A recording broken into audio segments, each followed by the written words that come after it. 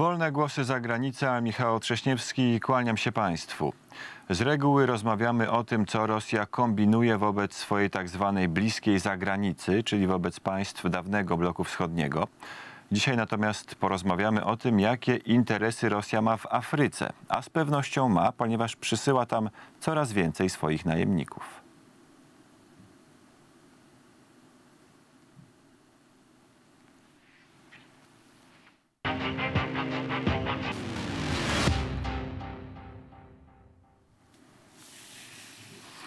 I witam naszego gościa, a jest nim pan Marek Budzisz, ekspert do spraw Rosji. Dzień dobry. Witam, dzień dobry.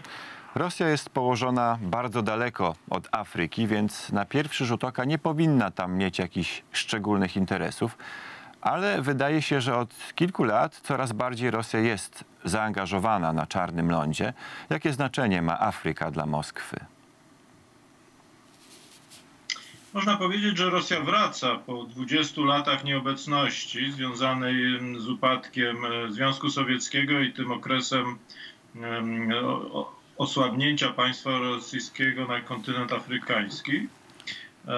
Odbudowuje pewne stare relacje. E, tu trzeba pamiętać, że przez lata całe e, Rosjanie nie tylko finansowali tak zwane ruchy antyimperialistyczne mm, w Afryce, ale też szkolili, e, szkolili przedstawicieli tamtejszej elity. W Moskwie działał Uniwersytet Narodów imienia Lumumby, na którym studiowano, ale nie tylko tam, bo również w szkołach wojskowych e, rosyjskich studiowali przedstawiciele dzisiejszej elity rządzącej krajami afrykańskimi. No, e, na przykład takim absolwentem szkoły wojskowej rosyjskiej był E, Jakob Cuma, były prezydent RPA, a po drugiej stronie kontynentu marszałek Haftar, jeden z liderów e, frakcji walczącej w wojnie domowej w Libii. Więc tych związków Rosja miała zawsze sporo. Teraz te kontakty odbudowuje, popierając te państwa, które z ich perspektywy po pierwsze mają znaczenie strategiczne, po drugie już za czasów sowieckich miały różne związki e, z Moskwą. Afryka oczywiście jest duża, ale chyba najłatwiej ją podzielić na Afrykę Północną, czyli na Afrykę Arabską i na Afrykę subsaharyjską. I zacznijmy może od tej drugiej, ponieważ od e, kilku lat w takich krajach jak Republika Środkowoafrykańska czy Mozambik działają Wagnerowcy, czyli najemnicy z rosyjskiej grupy Wagnera, która no, formalnie jest niezależna od Kremla, ale de facto reprezentuje interesy Kremla. Co Wagnerowcy czego Wagnerowcy szukają w takich no, pozornie mało znaczących afrykańskich krajach, jak właśnie Republika Środkowoafrykańska? No, y, tu trzeba też powiedzieć, że Wagnerowcy y, z nieco większymi sukcesami realizują swoją misję, jeśli tak można ją określić ich obecność w Republice Środkowoafrykańskiej, niż w Mozambiku. W Mozambiku tam ponosili i ponoszą spore, spore straty. Ale generalnie rzecz biorąc, mamy do czynienia z pewnym zjawiskiem szerszym, a mianowicie to, co określamy mianem obecności Wagnerowców, związanych z Jewgenijem Prigorzynem, tym słynnym kucharzem e, Putina, e, to jest trochę szersze zjawisko. Tu nie tylko chodzi o obecność najemników czy instruktorów wojskowych e, z Rosji, ale też chodzi o eksport całej infrastruktury wspomagania dyktatorów. Tu chodzi o doradztwo też, e, doradztwo tych e, technologów politycznych z Rosji, chodzi o systemy inwigilowania ludności, chodzi o pewne umiejętności czy możliwości w zakresie cyber, działania w cyberprzestrzeni, chodzi też o eksport broni i uzbrojenia, a wszystko to w zamian za koncesje od te, często chwiejących się e, dyktatorów e, krajów afrykańskich za koncesje, które, które będzie można potem e, spieniężyć. Bo tu sam Prigorzyn i jego firmy, chociaż one nie są bardzo małe, one nie mają zdolności E, indywidualnego inwestowania jeszcze na tak trudnym terenie. Natomiast w, w Afryce tradycyjnie były aktywne duże rosyjskie e, firmy, e, albo prywatne, tak jak koncern Diripaski czy, czy, czy Potanina, które są aktywne w wydobyciu metali kolorowych, czy Alrosa, która specjalizuje się w diamentach, czy wreszcie państwowy Rosatom, który, który nie, buduje elektrownie atomowe, nie mówiąc już o, o handlarzach broni. No w Afryce działał też słynny Wiktor But, E, którego Putin do dzisiaj broni, e, Wiktor But znajdujący się w amerykańskim więzieniu. E, więc tu chodzi o taką, powiedziałbym, aktywność polegającą na oferowaniu stabilizacji władzy przy relatywnie niedużym zaangażowaniu sił i środków w zamian za potencjalnie lukratywne koncesje, które można będzie sprzedać większym rosyjskim koncernom, ale też nie po to, żeby one samodzielnie ryzykowały swoje kapitały, ale budowały coś na kształt konsorcjum międzynarodowego, gdzie oni będą, mam na myśli Rosjan, oferowali gwarancje polityczne, też ochronę zbrojną takich inwestycji, ale kapitał już powinni dostarczać i technologie firmy przede wszystkim z Europy, z Europy Zachodniej. To jest pewien model biznesowy, który Rosja chce eksportować. Czyli głównie chodzi o to, że Rosja pomaga poprzez właśnie działalność Wagnerowców utrzymać się jakiemuś dyktatorowi, a ten w zamian e, daje, Rosją, daje Rosji koncesję na wydobywanie surowców, które są w tym państwie. To, to, to jest ten mechanizm? To jest, to jest jeden z mechanizmów, bo to nie, to, to, to nie jest tylko ten mechanizm. Na przykład e, Jakob Zuma, kiedy był jeszcze prezydentem e, Republiki Południowej Afryki, podpisał z Rosją, a właściwie z Rosatomem wielki kontrakt na budowę e, elektrowni atomowej, elektro, kilku elektrowni atomowych, co zresztą przyczyniło się do jego upadku i generalnie pogorszenia relacji Rosji z, z RPA, bo, bo następstwa Cumy, czyli, czyli prezydent Cyril Ramaphosa już nie jest takim wielkim zwolennikiem współpracy z Rosją. To też pokazuje, że te, ta obecność Rosji y, nie ma charakteru strukturalnego. Ona ma charakter pewnych relacji, pewnych usług oferowanych y, afrykańskim y, prezydentom, czy raczej należałoby powiedzieć dyktatorom, a w związku z tym ona ma relatywnie słabe korzenie. No Rosja, jeśli chodzi w ogóle o handel na przykład z krajami E, położonymi na południe od e, Sahary, no to jej obrót towarowy w 2017 roku wynosił około 3 miliardy dolarów, był ponad dziesięciokrotnie mniejszy niż w przypadku Chin. Możliwości kapitałowe też są, też są znacznie, znacznie mniejsze, nie mówiąc już o e, technologii. Rosja działa w pewnych wybranych dziedzinach czy sektorach, w których czuje się, się pewnie, chcąc na tym zarabiać. To jest jakby pierwszy element.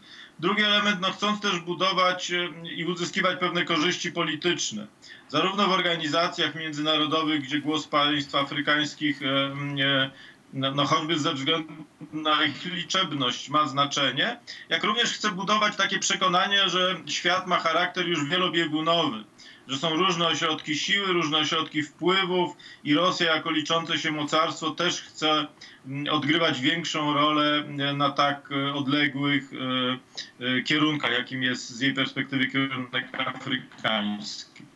Mówimy o tym, że Rosja działa w Afryce poprzez grupę najemników z grupy Wagnera. Czym jest ta grupa Wagnera? No i jak duży jest zasięg jej działalności?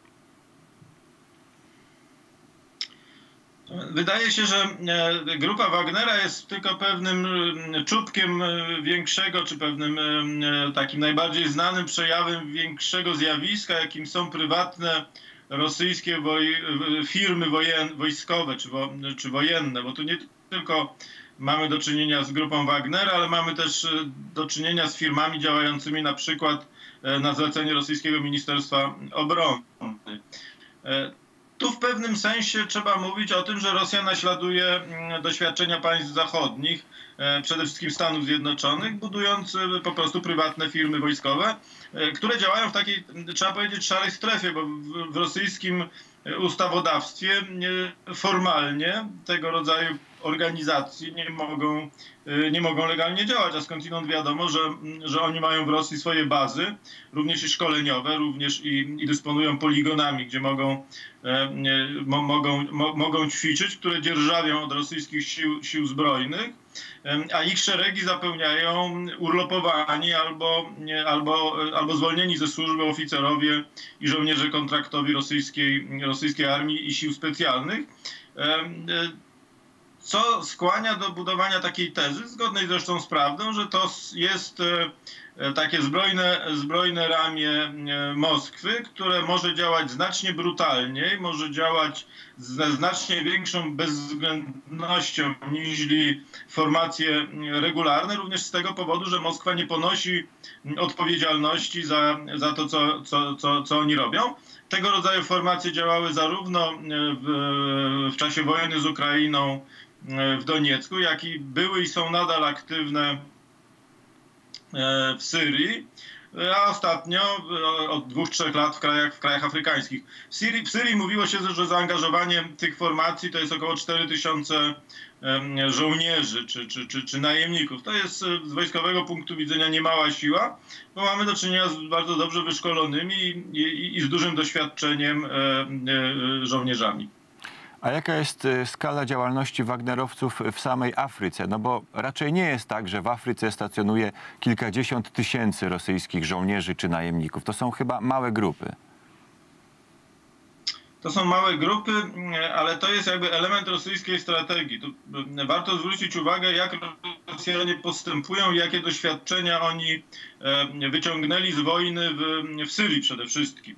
A mianowicie tam rosyjscy specjaliści, zarówno mm, ci, którzy mm, wchodzili w skład grupy Wagnera, jak i, jak i regularni wojskowi, jakby oni stanowili pewien, pe, pewną, nazwijmy to, elitę głównie instruującą czy, czy, czy szkolącą e, siły lokalne oraz dowodzącą pewnymi operacjami, podczas gdy już te te, te, te, jednostki liniowe czy oddziały, które wchodziły do, do walki, to były głównie złożone z, z, z sił miejscowych, co najwyżej dowodzonych przez, przez rosyjskich, rosyjskich specjalistów. Chodzi po prostu o to, żeby to zaangażowanie Rosji nie było zbyt duże, żeby to niezbyt dużo kosztowało, bo Rosjanie chcą, uprawy, chcą jakby realizować tanie wojny, nie wymagające wielkich nakładów, ale też i nie ponoszące za sobą wielkiego ryzyka, no choćby takiego, że, że ci ludzie będą ginąć i wracać w tych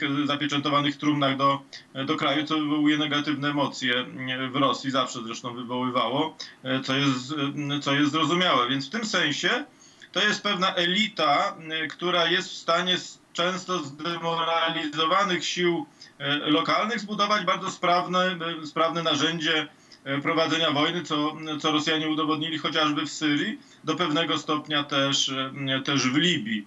Tutaj się spotkali z, z kontrofensywą głównie e, turecką. Sto, i, no właśnie. To przejdźmy do Afryki Północnej i do Libii, ponieważ Rosjanie zaangażowali się w wojnę domową w tym kraju, która rozpoczęła się w 2014 roku. Y, poprzez działalność właśnie Wagnerowców, najemników rosyjskich z grupy Wagnera. I znowu, no pewien paradoks. Rosjanie angażują się w konflikt, który jest bardzo daleko od Rosji, no i teoretycznie Rosja no nie ma tam jakichś chyba wielkich interesów. Czemu Rosjanie zaangażowali się w tę wojnę domową w Libii poprzez właśnie działalność grupy Wagnera? Rosja ma tam e, co najmniej e, kilka obszarów e, z jej perspektywy bardzo ważnych. No po pierwsze, Władimir Putin zawsze uważał, że jego poprzednik, czy zmiennik, tak należałoby powiedzieć, Miedwiediew popełnił kardynalny błąd wyrażając, strategiczny, wyrażając zgodę na interwencję państw zachodnich w Libii, w efekcie której został obalony Kaddafi.